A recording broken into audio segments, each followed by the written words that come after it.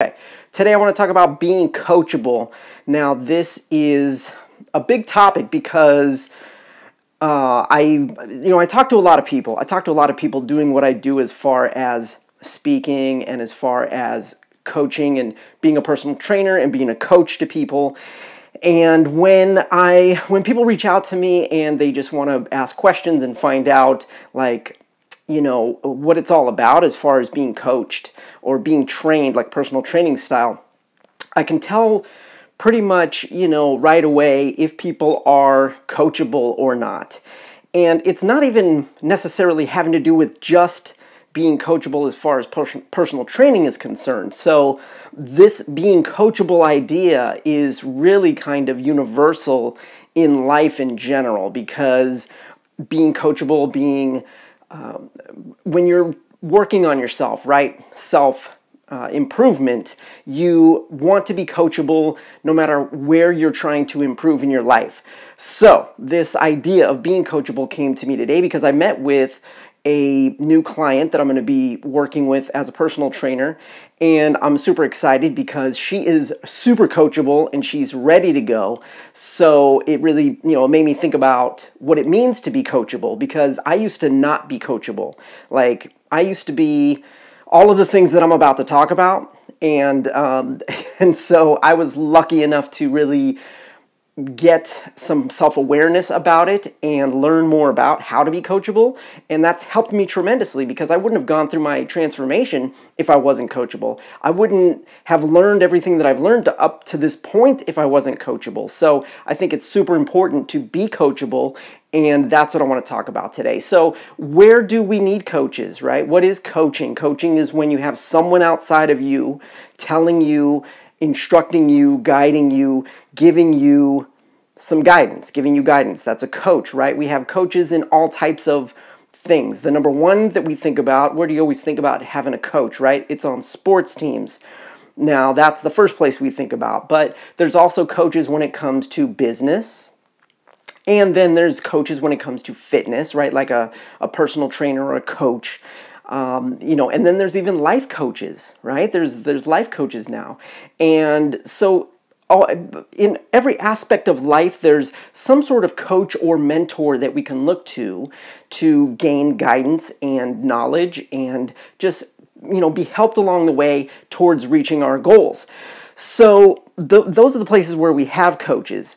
And what does it mean to be coachable, right? What does it mean to be coachable? Because even though these coaches exist, are we ready to be coached by these people? So, what does it mean to be coachable? What I want to cover is who's not coachable, all right? Who is not coachable? These are the people or the mindsets of people that aren't coachable. Okay, the first is the know it alls, right?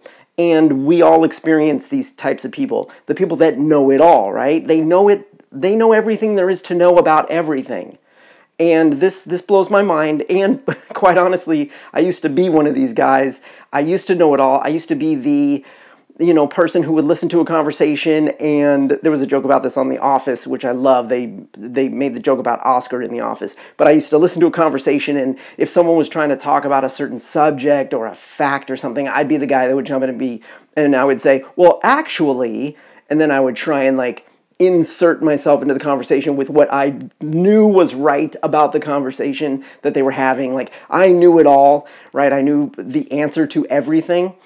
And a know it all is not coachable. A know it all is not coachable because they know it all already. A coach is someone who's going to come in and give you guidance and give you something new to think about. And know it alls, they are not coachable. So that's the first type of person. The second type of person is someone who is too much of a private person, too closed off, right? Now, I totally understand being private and being, you know, having your own things, um, having your own things being private and, and to yourself. Uh, I'm not a very, not a too private person. I'm, I'm pretty open about things and I've gotten more open about things as I learn more about life. And one of the things that I've found is that someone that is too private, too closed off, is not coachable. These type of people are not coachable because they're not open to any sort of outside suggestion. So that's the second type of person. Third type of person is the person who is afraid to learn something new. And this is really difficult because, again, it kind of all blends in uh, to the know it alls, right? Know it alls, they definitely, you know, don't feel they have anything new to learn. Uh, they may learn, right? But it may be from someone else. And they may, they may feel that they can learn it on their own. They can learn things on their own. They don't need to listen to anybody else to learn anything, right? So, and then there's people that are just afraid of learning new things. There's the, the, they just feel like, oh, they they they've got it. Everything is good in their lives and they don't need to learn anything new.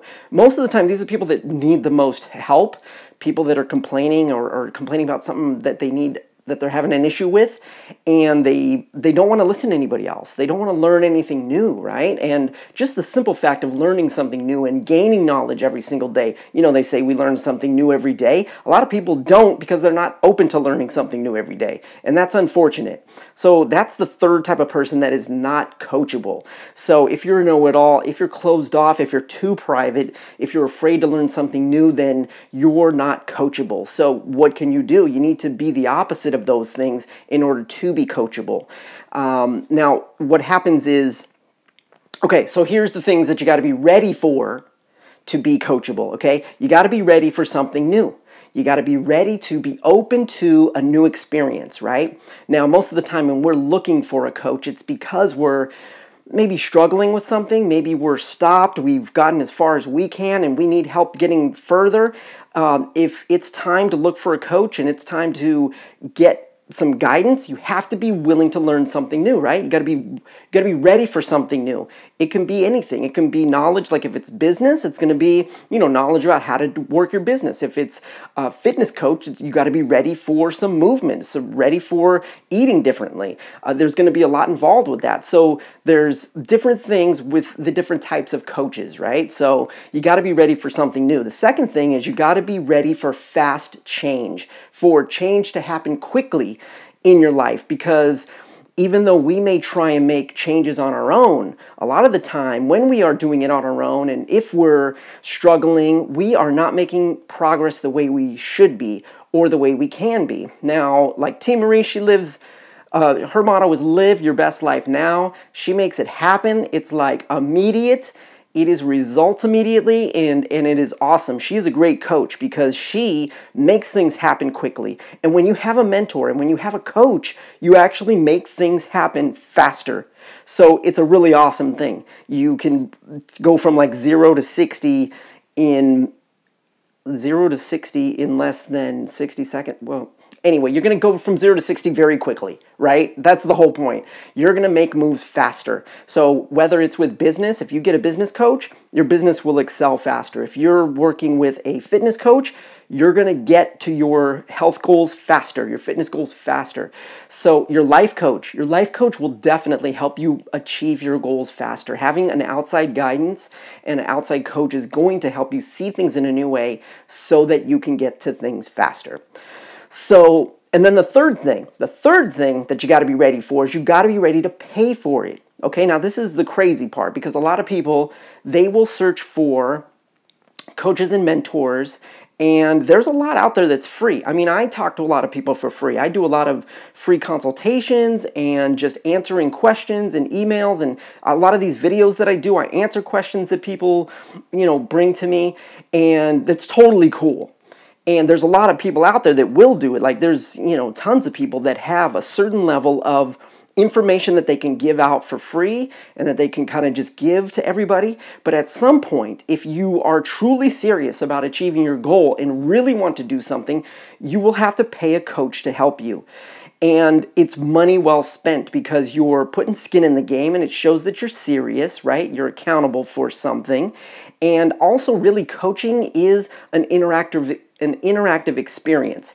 It's, you know, asking questions and getting answers. It's not just watching a video and then getting an answer that you think is kind of tailored for you but may not be tailored for you. I mean, it really is a back and forth. Even with some of the videos that I give and some of the questions that I may answer, I mean, especially when it comes to fitness and nutrition, it's very tailored to specific people. So it's very hard to answer questions specifically like through a video. So when it comes to coaching, I mean, it really is interactive. It's going back and forth. It's trying new things. It's really seeing where you're at specifically and building a program that's specific for you. So any coach will do this. Any coach will do this. If it's a business coach, a fitness coach, a life coach, they're going to sit down with you and tailor your program to you. And that's worth that's worth money. That's worth paying for because Again, it's making you accountable. It's paying for that person's service, knowledge, and experience because they're taking their time, they've studied, they have a wealth of knowledge, and they're going to be able to guide you. So that's the last thing. So you got to be ready for something new, you got to be ready for fast change, and you got to be ready to pay for it. These are all great things that can occur. So that's what coachable means. Are you ready are you coachable? So I want you to think about it. I want you to comment in the comments below or in the chat or in the comments on the video, whichever you prefer. And let me know where you're struggling or you need some coaching maybe. Um, you know, I always tell people, look, if it's with fitness and nutrition, like I don't care like I'm a personal trainer, I'm a coach, but it, you, it doesn't even have to be me, okay? It doesn't have to be me. Go to your local gym and find somebody. Find somebody that you feel comfortable with online that you can work with. Just get that guidance. Get that guidance, get that help because you're going to see a complete change in your life if you do get guidance.